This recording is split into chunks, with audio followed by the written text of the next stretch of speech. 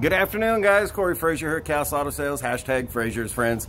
Uh, today I'm just going to do a quick uh, lot walk on uh, inventory that's coming in. Uh, still needs to go through detail in the shop, uh, but I just want to get that out there for everyone here. We got a 2014 long bed 2500 SLT 67 Cummins. Believe this is a, a, diesel anyway. Let's take a look. Nope, this is a gasser. 2500 gasser, 96,000 miles. Sorry guys, assumed it was a diesel considering it's what we deal in mostly is diesel, but occasionally we get those in. A 16 WRX, uh, 48,000 miles on it.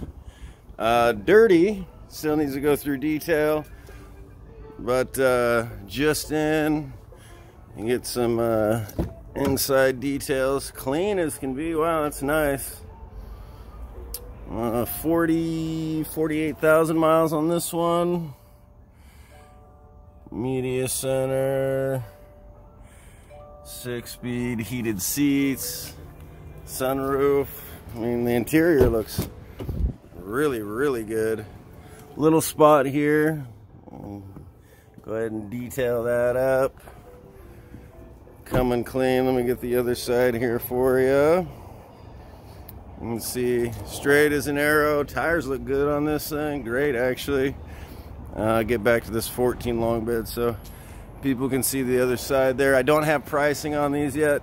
This one I do. It's a 2010 6.7 um, rather bit of a unicorn type of truck. And what I mean by that, this is pre-emissions last year before the DPF, DEF.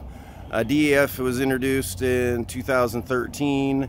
The DPF was introduced in 2011. So 2011, 2012, they have the DPF but not the DEF. This one is pre-emissions completely and first year the high output. So it's what makes this one pretty popular. Uh, low miles, Tires are in pretty good condition. Uh, let's get this out. I know it needs some little bit of leather body straight, no major dents, dings, no huge scratches. Bed liner. And then in the interior here, uh, they're gonna have to do a little bit of seat work on the driver's side, a little bit of wear coming in and out, but that's uh, a half a day for the vendor to come in and repair. So six six seater, three in the front, three in the back. Open this guy up here. The manufacturer sticker here. You can pause the video, screenshot, and zoom in on what you need there. Uh, yeah, so this one does have the cargo containers, both sides, rear air. Definitely not a smoker. Uh, and this is definitely a U.S. truck, which is huge. And then we got a 2015 Land Rover LR4. I Cannot say I'm terribly familiar with these. We can talk diesel truck all day long. And when you get into these high-end Europeans, not the most knowledgeable, I must admit. I'll be the first to admit.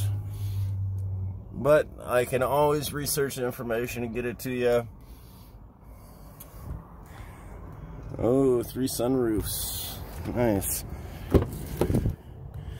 Back here, mind you guys, this is pre-detail, pre-everything. So the product's gonna look a whole lot different after uh, detail. I love the before and afters. Uh, let's open this guy up here. I'm not sure if this is a third row. Let's take a look. Oh, yep. So there's three seats, third row on this. Plenty of cargo mats. Holy smokes. Shot from the back. This one's straight too. This one's really straight as well. Well, guys, I mean, hopefully this helps answer some questions. Uh, these are just a few of the new inventory. I really wanted to get that 2010 in here. Uh, this one's super popular. Here, let me just go ahead and turn it over for, for the folks. Uh, wait for that glow plug. Vroom. So good news. No check engine lights or anything on this guy. So aftermarket Bluetooth stereo, which is which is good. I wonder if this one has Navi. Nope. But Bluetooth, which is important. And then for the power rear slider up here, this was definitely a non-smoker truck. That's for sure.